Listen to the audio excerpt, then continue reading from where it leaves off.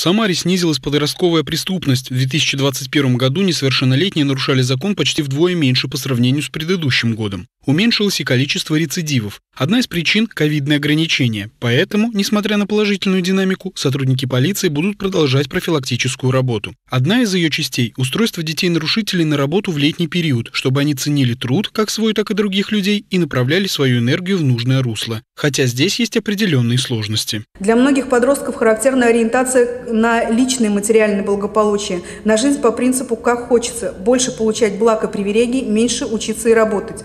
Во-вторых, отсутствие работодателей желание принимать на работу данную категорию несовершеннолетних.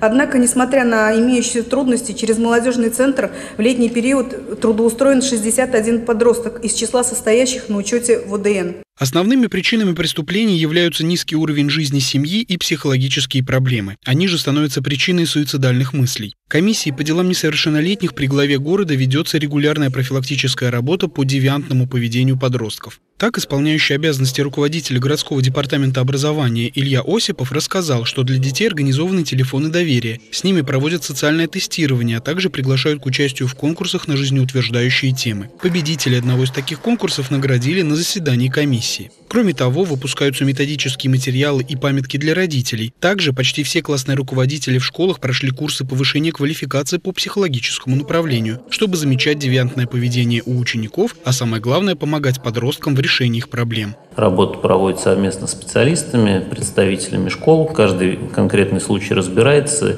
и с учетом э, проведенной работы формируются общие рекомендации, которые направляются всем учреждениям для использования в работе. Глава Самары Елена Лапушкина отметила, что взятый курс в работе необходимо продолжать, а также искать новые методы и способы работы с подростками, чтобы они чувствовали себя услышанными, нужными и могли доверять своим учителям и родителям. Андрей Горгуленко, Василий Колдашов. События.